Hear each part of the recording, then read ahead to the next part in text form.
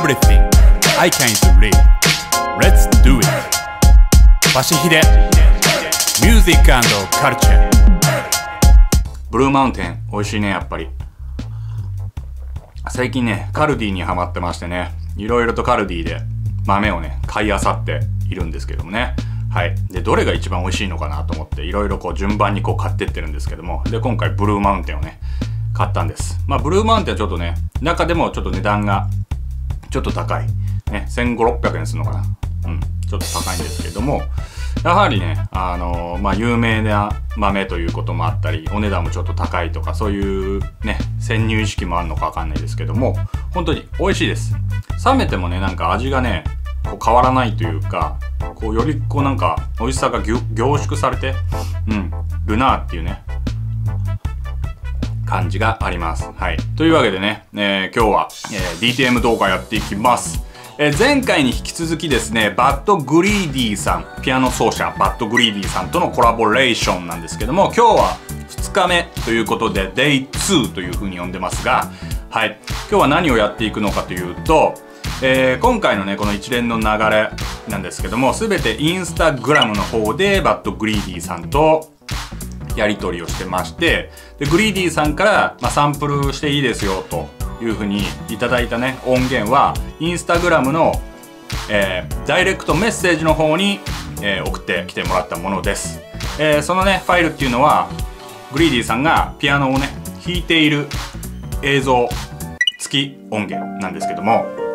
ね、非常に素晴らしい、美しい、ね、音源、そして映像なんですけども、それを、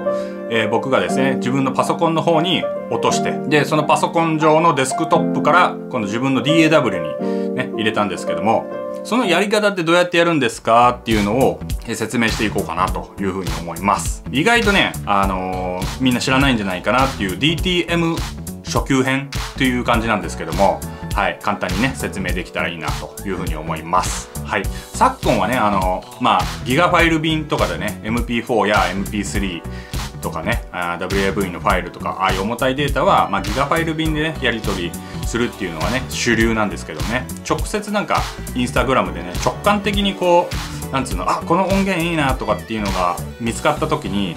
まあ、ダウンロードのね URL とかがわかんねダウンロード URL ある時は大体それをね MP3 とかに変換してくれたりするんですけども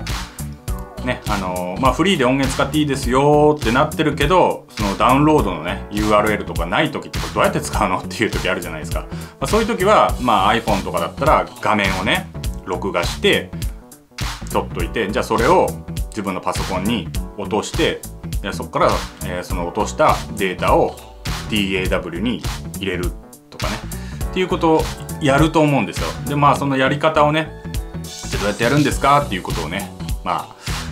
僕が解説していきますんで、まあ、気軽に見てってください。はい。で、予告になりますけども、今回はそれを説明して、えー次回3の方ではね、その、えーグリーディーさんの音源を僕が実際にエイブルトンプッシュの方でチョップしてですね、はい、えードラムと合わせたり、えベースラインを入れてったりっていうことをね、徐々にやっていって曲を完成させますんで、そちらの方はぜひぜひお楽しみにしといてください。はい、というわけで、えー今日は Day2 行ってみましょう !Here we go! えー、それではですね、インスタグラムのダイレクトメッセージに入ってきたグリーディーさんの音源ですね。この音源を、まあ、どうやって DAW の中に取り込むのかっていうことなんですけども、はい。このね、取り込むためにはまず2つのアプリが必要になってきます。で、このアプリっていうのは、まあ、配信とかね、あとはライブ実況とか、そういうことをするためにも必要になってくるアプリなので、まあ YouTube とかね、やってる方、あとは DAW で音楽をね、作ってる方にとってはね、割と必須アイテムになってくるのかなっていうことで、覚えておいて損はないので、覚えておいてください。で、そのアプリというのが、こちらですね。この、レディオキャスト。ラディオキャストかな？読み方。 LadioCast っていうね、 LadioCast っていうね、このインターネットラジオ放送を配信できる Mac のアプリなんですけども、まずこれが必要ですよってことです。はい。これをダウンロード、インストールしてください。これと、あともう一つ必要になってきて、まあ、このね、 LadioCast っていうのは、まあ、ミキサー的なね、役割をします。で、インストールすると、こういったね、画面こういった画面が出てきますんで、ここでね、えー、音楽をね、えー、配信することができる、まあ、ミキサー的な役割ですね。で、ここの選択タブのところで、まあ今、ブラックホールっていう風になってますけども、今から説明します。この仮想音楽デバイス、ブラックホールというものも必要になってきます。はい。で、こっち側の出力の方では、僕のね、これ AudioFuse、インターフェース、オーディオインターフェースを使ってるんですけども、これを、まあ選択して、まあ外部ね、スピーカーの方から鳴らしてるということですね。はい。これがないと、ただね、あの、音楽がコンピューターの中で鳴ってるだけっていう状態になってしまう。まあ、それが通常なんですけども、それをさらに、なんていうかな、配信できるようにするための、まあ、デバイスというか、うん、ちょっと仕組みとかはね、結構難しいと思うんで、ちょっとここでは割愛しますけども、とにかく配信をしたり、まあ、音楽をね、えー、DAW の中に取り入れるときは、これが必要だっていうことを覚えておいてください。で、もう一個のこれ、ブラックホール。で、ブラックホールっていうのがこちらですね。こちら。えー、ロートオーディオ between APPS ってなってますけども、これが仮想デバイスというかね。はい。うん、仮想デバイスってなんだっていう話なんだなんですけど、まあ難しいことはね、そんな考えなくていいと思います。とりあえず、こいつが必要だということです。はい。で、以前までは、あの、サウンドフラワーっていうものを使ってたんですけども、Mac のね、まあ、Mac の OS って結構 Mac の OS って毎年秋になるとアップデートするじゃないですか。それのね、えー、アップデートに合わせてサウンドフラワーっていうのがちょっと使いづらくなっちゃったみたいで、で、新しくこうユーザーがね、発見したのがこのブラックホールっていうものです。で、Mac OS の一番最新バージョンだと使えるかどうかっていうのがわかんないので、はい、今カタリナなんですけど僕のはカタリナだと使えますさあさあでしたっけ？一番新しいやつだと使えるかどうかっていうのも分かんないので都度ねそこはまあ確認した方がいいです。はい。Mac の OS がアップデートされたからといってすぐにね Mac の OS アップデートしちゃうとこういったねデバイスが必要なデバイスが使えなくなっちゃうこともあるのでそこは注意してください。はい。これがブラックホールですね。で、えー、このねブラックホールを設定するんですけどもえー、まずはねこのラディオキャストを開くとこの画面出てきますね。この画面入力1と入力2をまずブラックホールの16チャンネルにします。はい。これ2チャンネルでもいいと思うんですけどもまあ僕は16チャンネルにしてます。で出力のメインの方を AudioFuse これオーディオインターフェースですね。お手持ちの僕んちのは AudioFuse なので AudioFuse にしてます。これがね Greedy さんからもらった音源なんですけどもこれを再生しますよ。あ、何人 間違えた。で、ごめんなさい。さらにね、あの設定しなきゃいけないのが、えー、Mac でしたら、この Mac のサウンド環境をね、開いて、これをですね、この出力ってところありますね。これが今ね、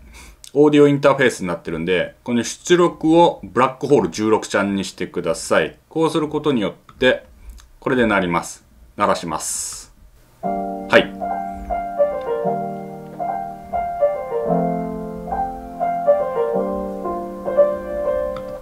ね、今あの、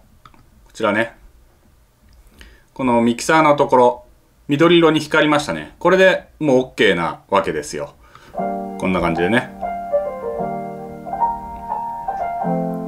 これでもう DAW の方に取り込むことができます。はい。えー、そしたらですね、まず一番最初にやることは、このね、ダイレクトメッセージの中のこの映像を自分のね、デスクトップパソコンの方に取り込みます。はい。そしたらですね、このグリーディーさんの送ってきてくれた映像の部分で矢印を合わせ、右クリックですね。はい。お手持ちのマウスの右クリックをして、名前を付けて画像を保存というふうにします。で、ここに名前を付けます。例えば、グリーディさん3音源こんな感じでねまずはデスクトップにまあ場所はね自分の任意の場所でいいと思います僕はじゃあデスクトップにしますこのように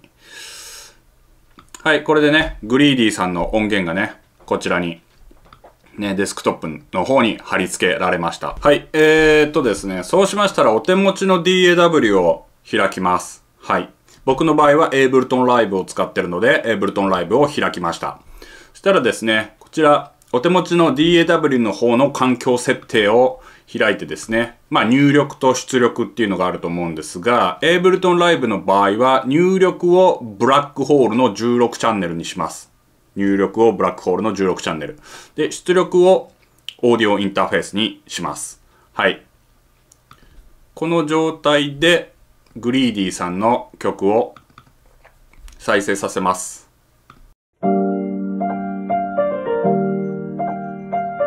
はい、今、ね、エイブルトンライブ上でお分かりいただけましたでしょうか音量のバーが緑色になりましたよね。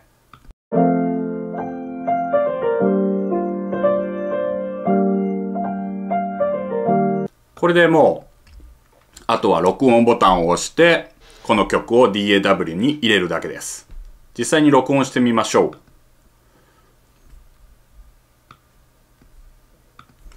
っとお待ちください。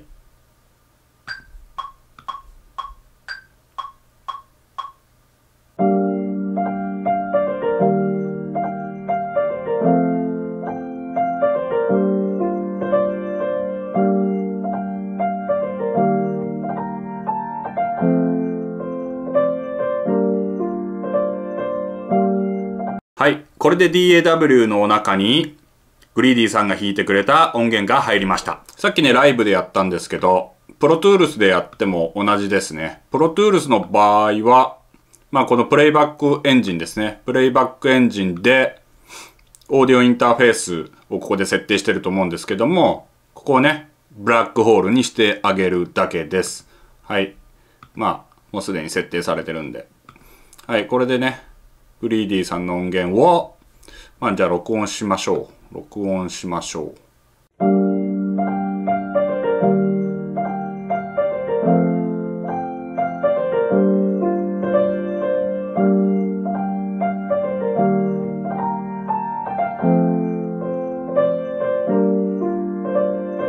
はい。これでね、プロトゥールスの中にもね、ここにグリーディーさんの音源入りましたね。はい。これちょっとね、これすぐにね、聞けないんですね、ちょっと。これね、今画面収録をしてるとこなので、これ一回一回ね、ちょっとここのシステム環境をここで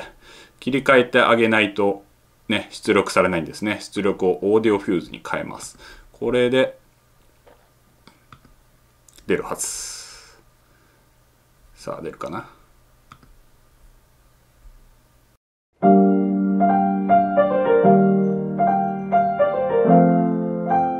OK です。はい、えー、それではね、エイブルトンライブの方、先ほどね、プロツールスで撮る前に撮ったんですけど、入ってるか、音がちゃんと入ってるか、やってみましょう。まあ、波形がね、出てるんで、音は間違いなく入ってますけども、一応これで再生です。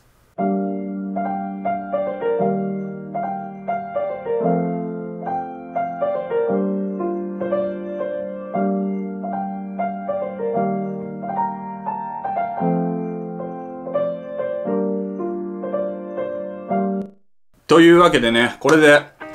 準備がね、ほぼほぼ整ったわけです。ね、あのー、このようにね、例えば、ね、えー、まあ YouTube でも、Instagram でも、まあ Twitter でも、フリーでね、使っていいですよっていう風に提供されている音源で、まあ例えばダウンロードの、えー、インストール先 URL がなかったりした場合は、このようにね、自らちょっと手を加えるだけで、まあ、DAW の中にね音を入れたりすることもできます。はい。まあ変な話ねフリーでね提供されてる以外の音源でもまあこうやってね DAW の中に入れることはできます。ただそれをね、まあ、商用利用できるかどうかっていうのはまた別の話になっちゃうんではい。くれぐれもねその辺の著作権等はねしっかりあの気をつけていただいてまあ個人でね楽しんでいただければいいかなというふうにも思いますけども。はいというわけでね、えー、グリーディーさんとのコラボレーション Day2 なんですけどもまあ今回はねちょっとまあ特別編じゃないですけどもこんな形でね How to ものっていうのもねやってみました、えー、次回からですね実際に今入れたねライブとプロトゥールスに入れましたけどもライブの方に入れた音源で、まあ、エブルトンプッシュを使ってですねはい。えー曲を作っていこうかなと思いますんでぜひぜひお楽しみにしていてください。そうですね大体この動画のペースは12週間ぐらいで1本ぐらい上げていこうかなっていうペースです。はい。なのでぜひぜひ続きを、えー楽しみに待っていてください。それではまたお会いしましょう。バイバイ。Peace out